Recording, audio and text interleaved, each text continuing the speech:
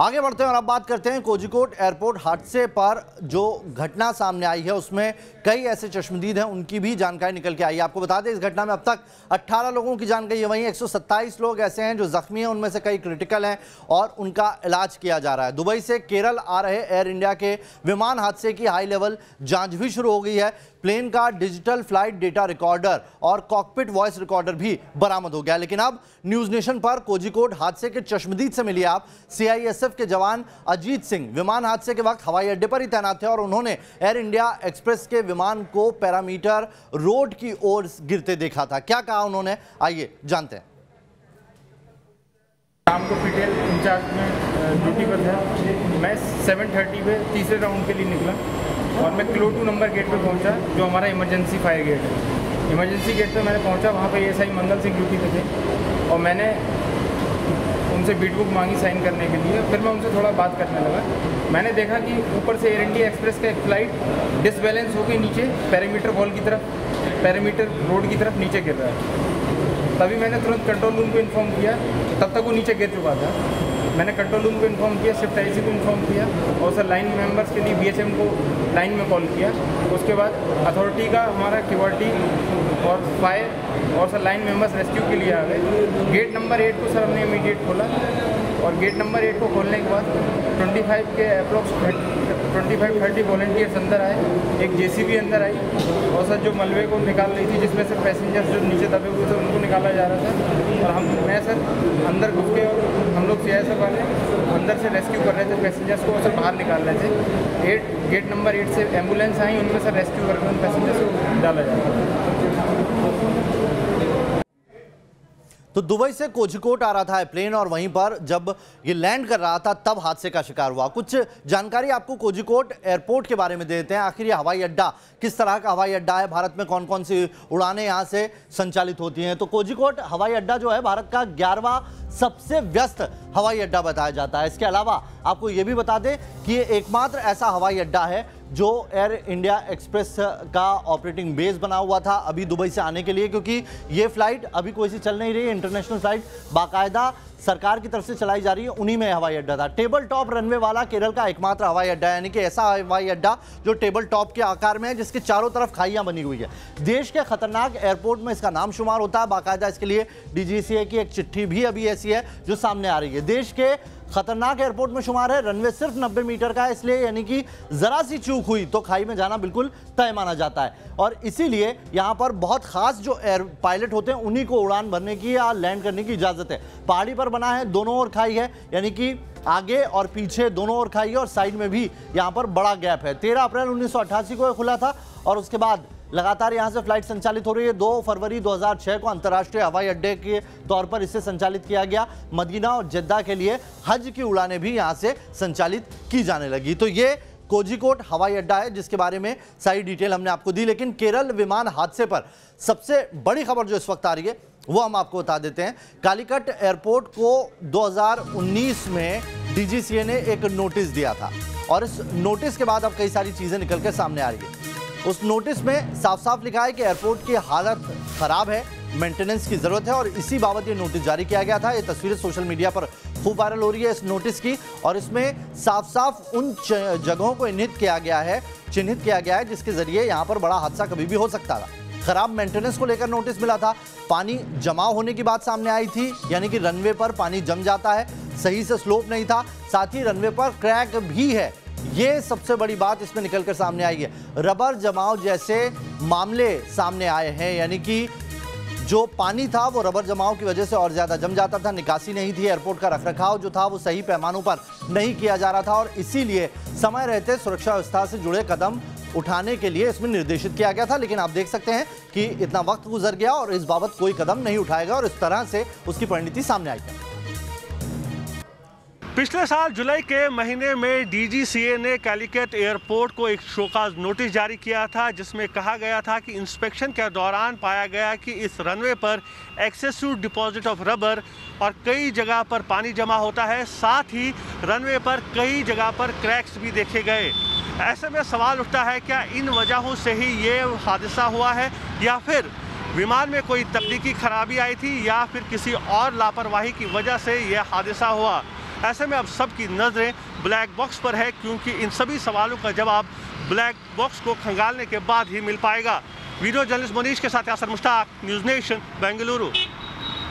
तो ये सब जाँच का विषय है और ब्लैक बॉक्स मिल गया है प्ले, उस प्लेन का जिसके ज़रिए सारी चीज़ें भी अब सामने आ जाएगी। लेकिन इन तमाम पहलुओं में एक चीज़ और ज़्यादा महत्वपूर्ण ये आ रही है कि ये जो पायलट थे दीपक वसंत साठे जिनकी सूझबूझ की वजह से कई लोगों की जान बची है वरना यह हादसा बहुत बड़ा हो सकता था। चार तस्वीरें हम आपको दिखा रहे हैं किस तरीके से ये विमान दुर्घटनाग्रस्त हुआ रनवे पर पानी भरा होने की वजह से ये रनवे से आगे निकल गया और आगे 35 फीट नीचे जा खाई में जा गिरा। जब इसके अगले हिस्से पर ज़्यादा वज़न पड़ा, तब ये दो टुकड़ों में टूट गया था और इसके बाद इसमें आग नहीं लगी यह गनीमत रही, वरना यहाँ पर मौत का आंकड़ा बहुत ज़्यादा हो सकता था।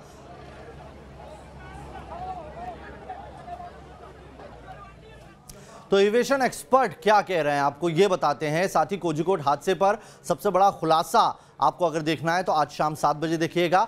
एक्सपर्ट इस मामले पर किसे जिम्मेदार मानते हैं? एक्सीडेंट होता है तो आप उसमें रिलीफ टीम को भेजते हैं। मुझे उम्मीद है कि वो जुडिशल इंक्वायरी इसमें ऑर्डर करेंगे, क्योंकि एक इशू ये है कि जो डीजीसी है जो इसकी इन्वेस्टिगेशन करता है, वही देश की सेफ्टी के लिए जिम्मेदार है। तो ये वही हाल है कि कोतवाल चोरी जो है कोतवाल बना हुआ है तो जहाँ वायलेशंस हैं, उनको आप जो है प्रॉपर इन्वेस्टिगेट नहीं कर पाते हैं। तो मेरे हिसाब से आपको उस चीज़ को ख़ास तौर पे देखना होगा।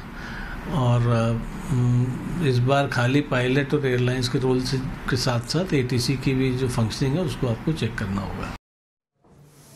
तो कोजिकोट पर हुए इस हादसे को लेकर न्यूज़ नेशन सबसे बड़ा खुलासा करने वाला है। शाम सात बजे बिल्कुल मत देखना भूलिएगा। ये सबसे बड़ी हम खबर आपको दिखाएँगे कि आखिर किसकी यहाँ पर कमी थी, खामी थी, जिसके चलते इतना बड़ा हादसा सामने आया है। कोजिकोट के जिस कालकट एयरपोर्ट पर यह पूरा हादसा हुआ, उसका रनवे अपने आप में अनोखा है। क्योंकि आम रनवे के मुकाबले काफ़ी छोटा है, पहाड़ी की चोटी पर बना है, और आपको दिखाते हैं कि कोजिकोट एयरपोर्ट आखिर क्यों इतना खतरनाक माना जाता है।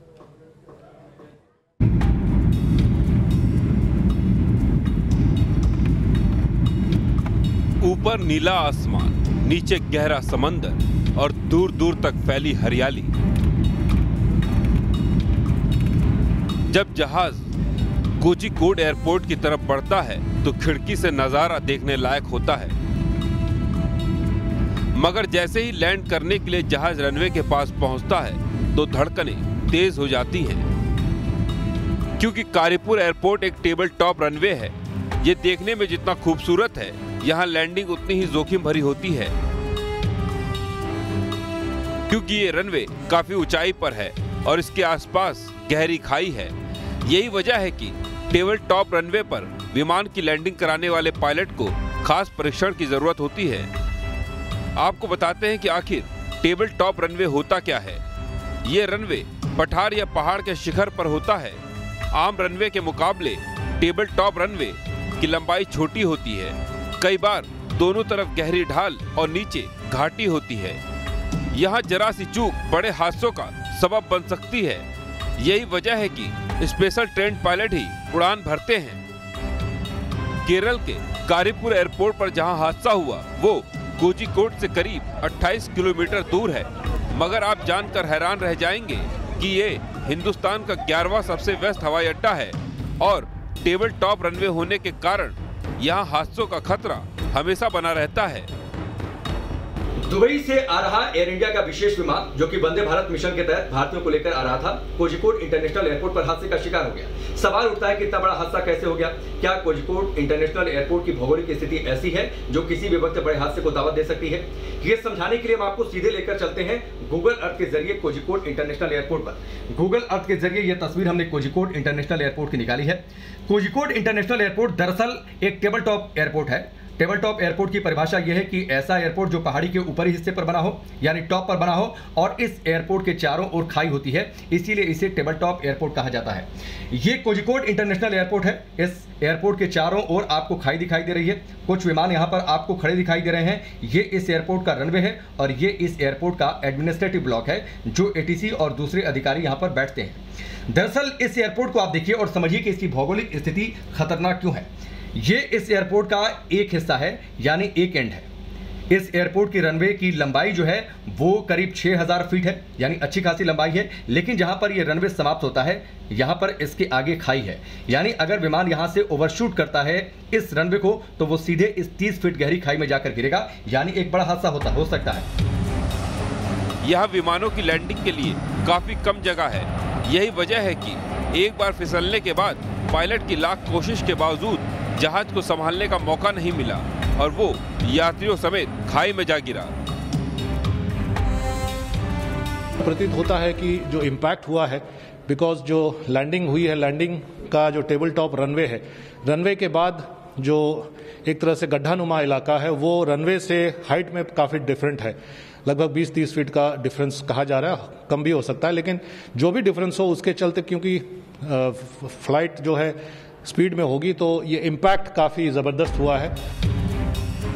हालाँकि केरल का कोजिकोड हिंदुस्तान का इकलौता टेबल टॉप रनवे वाला एयरपोर्ट नहीं है। देश में तीन और ऐसे एयरपोर्ट हैं, मगर कर्नाटक के मैंगलोर एयरपोर्ट को छोड़कर कहीं और ऐसे हादसे नहीं हुए। नोएडा से राकेश पांडे के साथ टीम न्यूज़ नेशन।